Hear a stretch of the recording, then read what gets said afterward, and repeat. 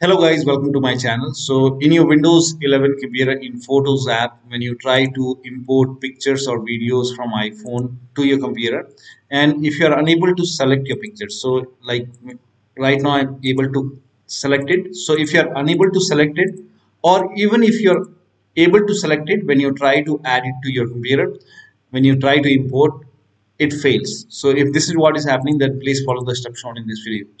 Now, this is a new Photos app in Windows 11 and I'm facing this problem actually in new Photos app. Now for this, you can install the old Photos app.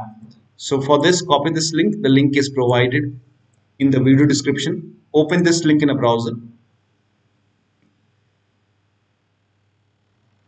It will take you to Microsoft Store website.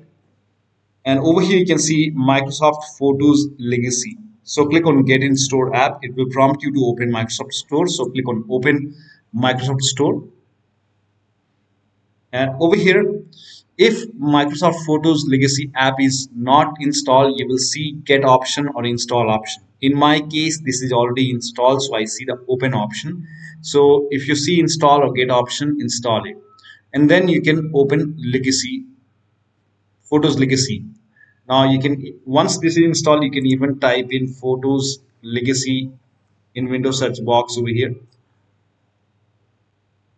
Type in photos legacy. Here you can see photo legacy. So open this microsoft photos legacy.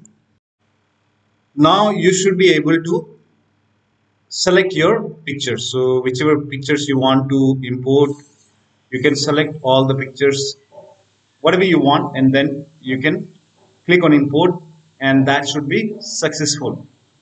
So this is how you can fix it. So that'll be all. Thank you so much for your time and please like this video and subscribe to my channel